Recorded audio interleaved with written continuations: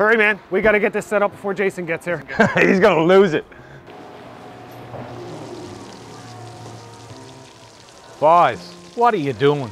No pants again. You gotta be kidding me.